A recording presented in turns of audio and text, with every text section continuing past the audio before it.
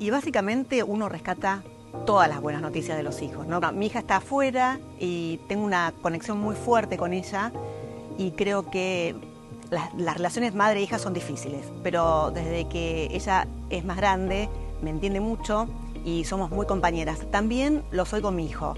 Y las buenas noticias son recibir eh, sus mensajes que están bien, que me aman y eso me confirma que hice las cosas bien dentro de lo posible.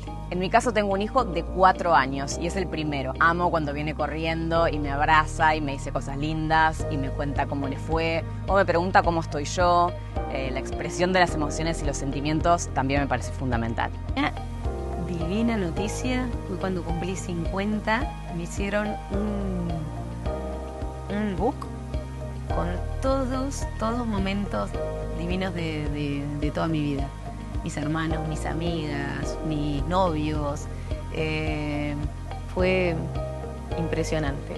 No, no, no paré de emocionarme con ese libro que me hicieron. Cuando Sol me dijo que estaba embarazada, fue una notición.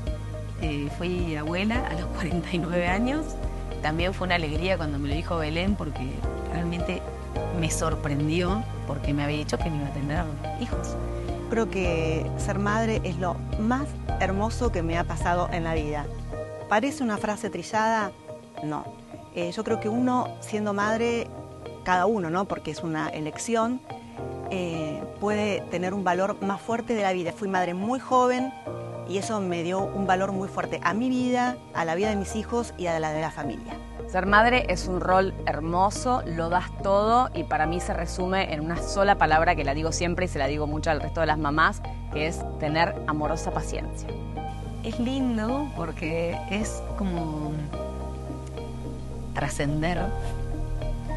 Eh, las veo, veo, veo gestos que, se parecen a los míos, actitudes eh, o el sentido del humor también es el mismo.